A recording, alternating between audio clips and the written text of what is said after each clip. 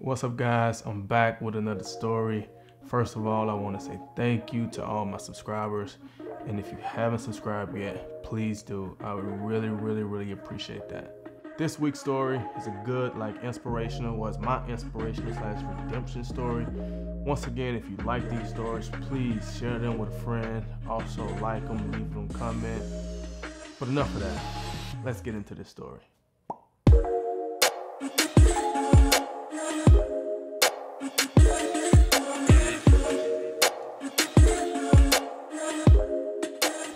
Not one, not two, but three picks in one game, man. Man, it was crazy. How many of y'all knew I caught three picks in one game though? All right, but but the title of this video is like my redemption story. So let me tell you why this is like my redemption story. Um, so two weeks earlier, we're playing Jacksonville Jaguars. It's the end of the game. Um, we're getting ready to go like the OT, so the score's tied. Um, they got one last play. It's the Hail Mary. So on this play, you know, I'm the jumper. So my job is to go up, knock the ball down so the other team can't catch it. On this particular play, Garrard drops back. He throws a beautiful ball that I could have easily, easily intercepted. But I tried to do what I was coached to do. I tried to do the right thing and just knock the ball down, right? That didn't end so well. Um, and it's such a lonely feeling like when you give up a touchdown, period. But like especially when it's at the end of the game, right? And you lose the game. You know, I can remember Coach Kubiak calling me in his office, you know, in the locker room after the game and just trying to tell me like it wasn't my fault, like it was just an unfortunate play. Um, and you hear him, you know, but it still felt awful, right? You go through the week and it's like you're the joke of the week. You see the highlights on TV and like nobody really wanted to bring it up, you know, but you know like your friends saw it, your family saw it. Um, so it's just a weird feeling, man, but you know, we move forward. You know, as a competitor, you want to get back on the field, right? So we get to the next game. We're playing the New York Jets, right? On the road again. Um, and I'm excited, right? We're playing the Jets. They got LaDainian Tomlinson, Braylon Edwards, some good guys, right? So it's the end of the game. We win in this one. And, you know, they need a game winning drive to to try to come back and win this game. They get to think the around the 50 yard line, second and 10. You know, Sanchez steps up, makes a deep throw down the sideline, man, to Braylon Edwards, and he catches it in front of safety, and boom, safety pushes him out on the six-yard line. So we call a timeout, and like now during this timeout, you know, I'm starting to have like flashbacks now, thinking about the week before, and not wanting to obviously give up another touchdown at the at the end of this game. Call comes in, it's zero blitz. Any slot corner know you don't want to be in zero blitz, right? Your job in zero blitz is to protect the inside. As outside corner is cool because you got the sideline, you can just tuck inside. But as a slot guy, you got the inside, you got the outside, and there's so much room to the outside. And you're so close to the end zone, they catch the ball, it's probably gonna be a touchdown, right? So, you know, I tuck inside, they come out, um, Santonio Holmes in the slot. I line up on him. They run like a typical pick play or whatever. Boom, Santonio Holmes goes to the, to the corner. Sanchez drops ball right in there. Boom. Touchdown. We lose again. Right? Lose again. And once again, I got that lonely feeling. Just there. 80,000 people screaming, cheering, and you feeling like you let the team down again. Um, but to make matters worse, in that game, you know, in the third quarter, I remember coming to the sideline feeling like, man, like my hand hurt, right? You know, and I just continued to play the game. I didn't want to take my glove off because I could feel like my hand swelling up inside of the glove. And so I didn't want to take my glove off. Um, get after the game, I, you know, I ice it up and all that stuff. But I'm just like, man, my hand is, is hurting.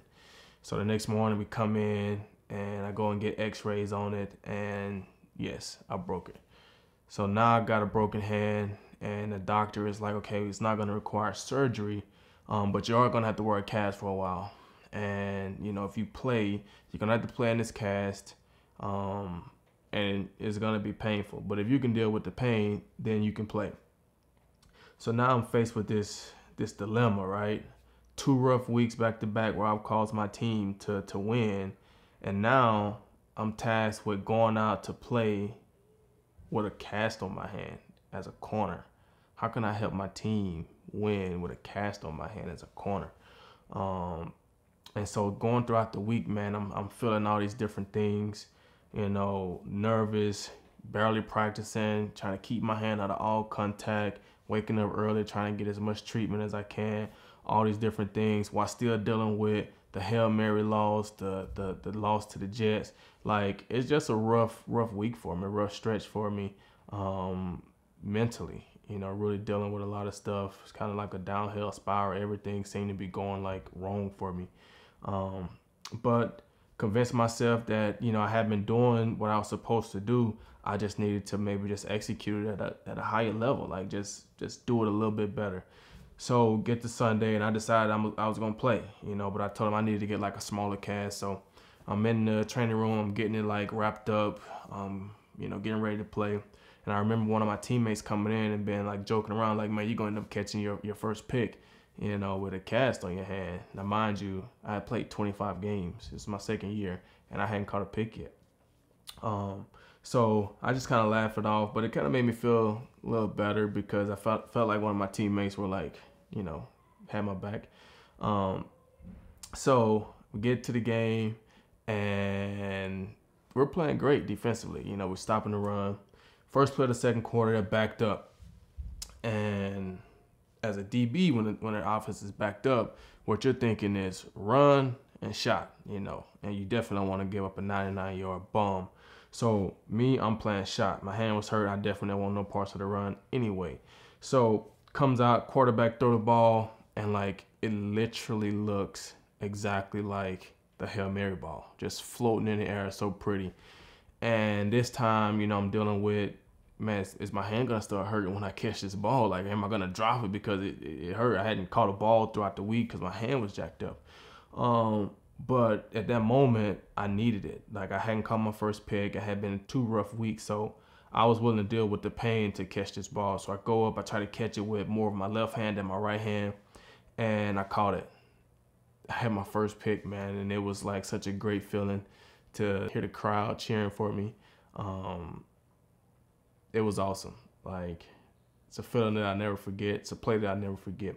But we fast forward to the fourth quarter. We're pitching a shutout. Still, defense is still balling. And I had a couple more breakups throughout the game. And they down in the red zone. Quarterback try to throw it to the flats late. And boom, I catch another pick. So now I caught two picks in one game. I went 25 games without a pick. And now I caught two picks in one game. So I'm just on the sideline. I'm just like, wow, man, this is crazy. You know what I'm saying? They joking like, man, you should probably play with a cast every game, you know? And so it's funny, you know, you're having a good time. You know, it's nice to smile and, and laugh. And so we get to the end of the game, and they're still trying to score because they hadn't scored yet. And they're on a six yard line. So as a DB, you can have like a great game and it could turn bad really quick, right? So I'm sitting there hoping like, man, please don't let me give up another touchdown at the end of this game. And no, we won't lose the game, but it'll still just kind of taint the date, right? So they're on a six yard line, obviously kind of like the same spot of the Santonio Holmes play. And coach calls a different play and you know they try to hit the tight end over the middle. Kush comes in, tips the ball, and now the ball is like floating to the ground and I see it. So with the hand that was broken, I kind of like go down like scoop it up, right, to try to catch it. And I was able to get it and like turn and fall under with the ball. And like I caught three picks in one game, right? So I'm laying on the ground. My teammates like beat me up or whatever. I get up, I can hear the crowd, man. It's awesome. Like it's it's just a great feeling.